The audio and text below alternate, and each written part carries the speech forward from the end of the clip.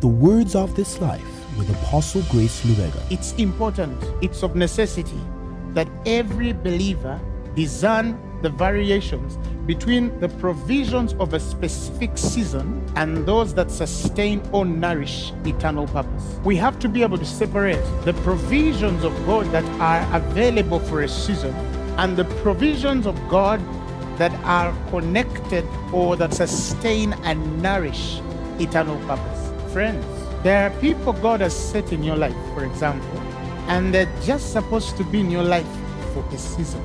And after that season, they either will let you go or you will let them go.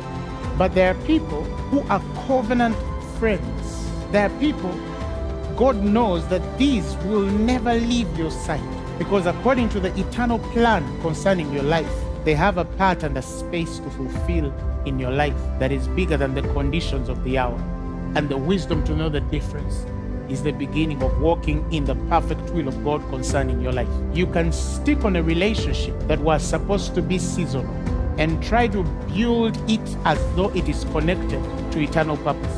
And with that, you're going to be destroyed. But likewise, there are people who have broken relationships that sustain a bigger part of their life course and destiny and assume that that relationship was for a season because they think that the present circumstances either explain this too. No, it's wisdom, it's the revelation of our destinies.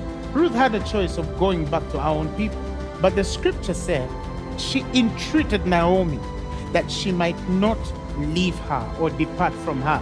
If Ruth had gone back to her people as the culture had desired of that time, she would have been disconnected from a bigger eternal purpose. Again, I said it takes revelation and wisdom to tell the difference. Join our online family, spread the love, and follow us on our Facebook, Twitter, and Instagram, and subscribe to our YouTube channel. Phaneroo, make manifest.